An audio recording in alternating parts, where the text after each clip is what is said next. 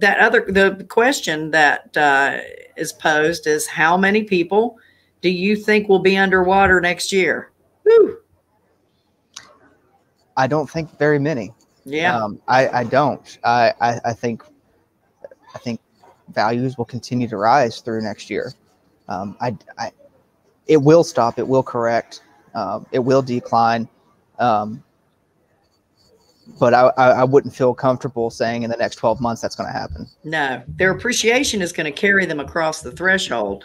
The Yeah. people that that I think that are going to yeah, Don Harris is saying zero. Yep.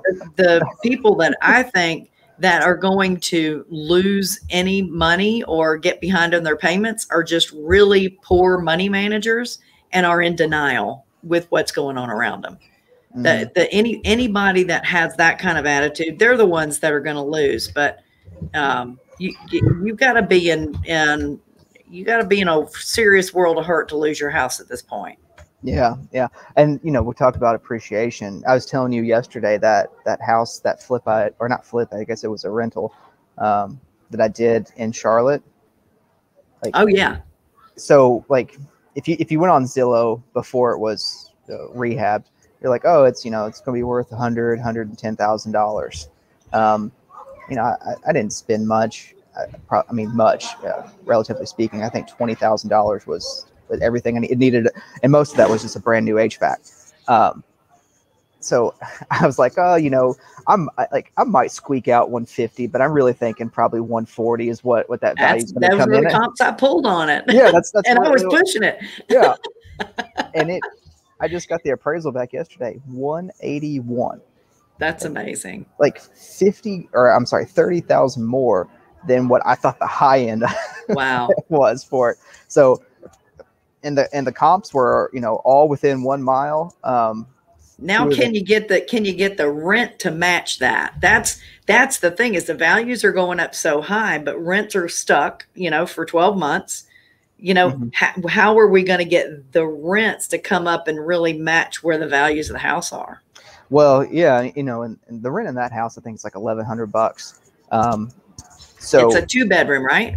yeah, two bedroom, one bath, really big yard, um, fenced in. It's it's it's nice. It's cute. Um, but yeah, like the the rents now, the rents don't really. If you're in a, the rents don't match the the value.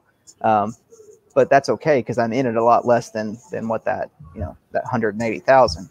So it, it works out. But I just, I mean, because the thing that shocked me was appraisals are are backward facing.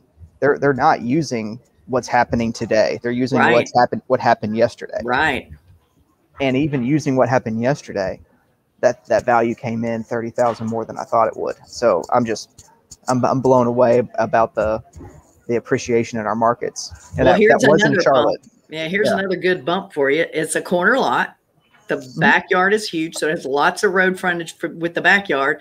And the city council just passed uh, an ordinance saying that all the houses now can be multifamily, can be zoned multifamily. So now You, you, I can put an EDU back there. you yeah, know, you sure could. yeah. Are you, what is it? UAD. It's AUD, ADU, AUD. an additional dwelling unit. You sure can. You sure can.